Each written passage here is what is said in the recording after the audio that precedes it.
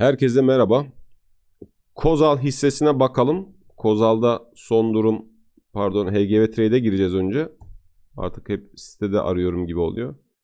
HGV Trade sitesine girdik ve Kozal hissesine bakalım ne durumda. Kozal'ı çekelim. Grafiği açtık. Dip zirve ve radar analizine destek dirençlere mutlaka yine siz bakın. Ben daha çok grafik üzerinden gidiyorum şu an sitedeki. Şimdi Kozal'la alakalı benim herhangi bir pozisyonum yok. Videolarda da alsat tavsiyesi vermediğimizi biliyorsunuz ama çok fazla e, istek, yorum, beğeni ve izleme oluyor. Bu da demektir ki Kozal'da cidden bir e, pozisyon alan insanlar var. Şimdi buradan bakarsak önce bir HGV Trade lazeri açalım ve e, en son hatırladığım kadarıyla güçsüzleşmişti. E, şimdi hangi pozisyonda ona bakalım. Şimdi hala e, trendin güçlendiğini göremiyoruz burada. Kırmızı görünüyor ama bir yataylığa döndü. Bu yataylık bizim için güçsüz olsa bile aslında iyidir. Yani bir dönüş gerçekleşecekse iyidir. Yalnız hala güç, e, güçsüz olarak görünüyor. Buna çok dikkat edin. Çünkü mesela burada da yataydayken sonra aşağı kırmış. E, mesela şurada da yataydayken mesela tekrar aşağı kırmış. O yüzden buraya dikkat etmek gerekiyor. Ama size ne diyorum ben her zaman bu güçsüzlük güçlülük yeterli olmaz. Mutlaka seviyelere açın arkadaşlar. Yani Twitter'da paylaşımlarda görüyorsunuz. Hani hesaplamaların e, tutarlı gidişiyle alakalı yorumlar da geliyor. Görmenize de seviniyorum. Önce bir uzun vadeyi açalım. Ne durumda ona bakalım.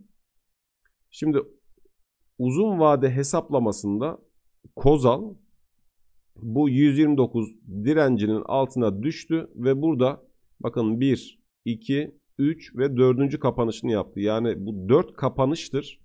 Hatta şuradakini de e, almamız gerekecek. 5 kapanıştır e, aşağıda duruyor. Yani bu 5 kapanıştan beri 129 üzerine atamadı.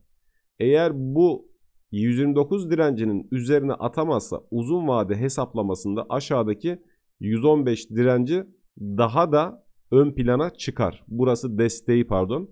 115 desteği daha ön plana çıkar. Yani yukarıdaki direnç ne kadar süredir zorlanmıyor ise tam tersi bir sonraki destek noktası artık konuşulmaya başlanır. Bu yüzden Kozal'da dikkat edilmesi gerekiyor. Şurada hocam bir destek oluştu diyenler bunu yapmayacaksınız. Asla böyle bir şey çizim yapmayın. Yani programı kullan kullanırken benim e, size sunmaya çalıştığım şey elle çizim asla yapmayın. Zaten bunları ben uzun vadeden de gösteriyorum. Sonra size daha yakından bakmanız için neyi veriyorum? Orta vadeyi zaten veriyorum.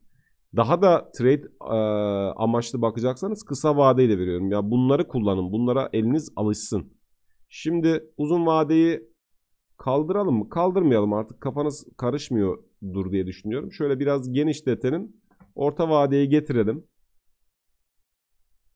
Orta vadeye getirdik. Şimdi orta vadede geçiş bölgesi çıkmamış. Webinarda konuştuk. Geçiş bölgesi çıkmadığı zaman aslında çıkmadığı zaman derken size şöyle söyleyeyim. Normalde geçiş bölgesi nerede? Ee, geçiş bölgesi tam da bir sonraki yani fiyat aşağı sarksaydı şu bölgede çıkacaktı. Yani 122 seviyesi olarak alma bir altta. Yukarıda da mesela iki tane ara destek veya ara dirençten sonra çıkar. E şimdi bu bölgelerde görünmüyor ama görünmeyişinin sebebi ne? Çünkü size diyor ki program ben sana geçiş bölgelerini vermiyorum. Yani altta ve üstte geçiş bölgelerini vermiyorum. Çünkü şu an diyor fiyatın, var olan fiyatın boğuştuğu başka bir şey var. Şu uzun vade 129'da boğuşuyor diyor.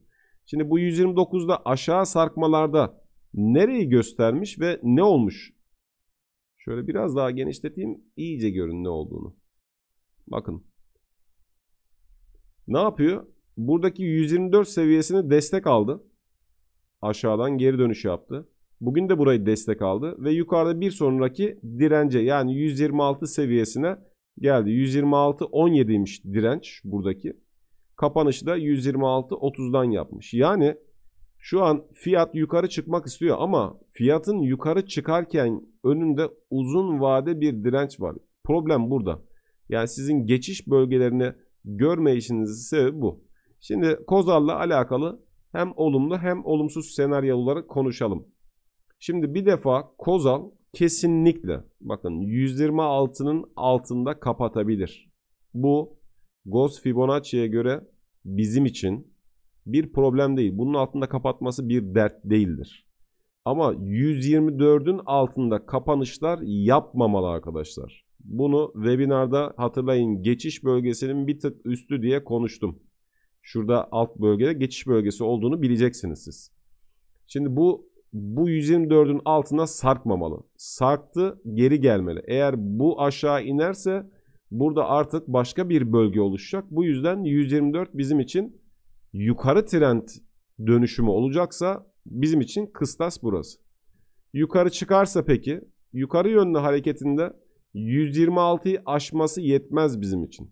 Yani 126'nın üstünde kapattı ne güzel yetmez. Güzeldir ama yetmez. Çünkü bizim asıl derdimiz bu 129. Dolayısıyla bizim Kozal'da görmek isteyeceğimiz şey yukarıda 129.5 direncini kırması. Eğer bunu kırmayı başarırsa buradan sonra diğer seviyeleri yine konuşmaya başlarız. Hatta şimdi ucundan da söyleyeyim.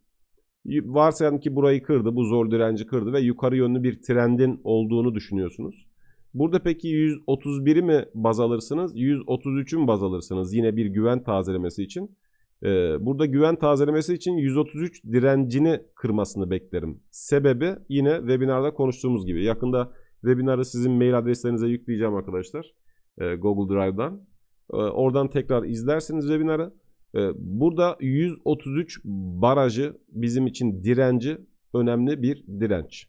Yani aşağıda 124, yukarıda 133 barajı. Bunun arasındaki dalgalanmalar güvenli dalgalanmalar değildir benim için. Yani bir, bir yöne, bir yöne seçip e, geçmesi lazım Kozal'ın. Evet görüntü bu. Beğeni ve yorum sayısına göre tekrar e, Kozal'ı çekip e, üzerine konuşuruz. E, merak ettiğiniz şeyler varsa altta açıklamaya ve yorum kısımlarına bakabilirsiniz, yazabilirsiniz.